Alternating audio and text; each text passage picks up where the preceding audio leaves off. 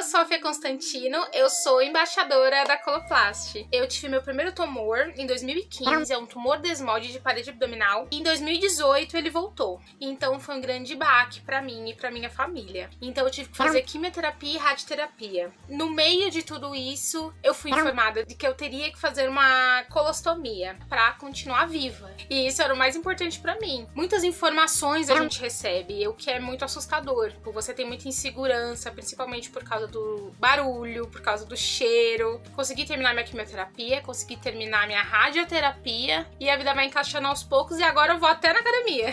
Queria mostrar para vocês como é um banheiro adaptado para pacientes que usam bolsa de colostomia. Quando você entra aqui no banheiro, no AMI Barrados, eles já colocam assim, ó, atenção, é proibida a higienização das bolsas na pia do lavatório. Por quê? Agora eu vou mostrar para vocês que a gente aqui tem uma pia só para isso. Tem até um chuveirinho para ajudar na higienização, tá vendo? É na altura da cintura, tá vendo? Então, assim, o paciente não precisa agachar na privada, é só ficar aqui tranquilo, colocou e foi. Eu não precisei dessa vez, que a minha bolsa já tava limpinha, mas deu para entender, né? Então tá, volta pro vídeo normal indispensável que você faça um tratamento psiquiátrico sempre que possível, porque é uma grande mudança, mas a gente tá aí para mostrar para você que tá tudo bem. E é isso, eu espero que isso tenha ajudado você a ter um pouquinho mais de esperança. Ter bolsa de colostomia é seguir normalmente com a sua vida. E é isso. Tchau, tchau.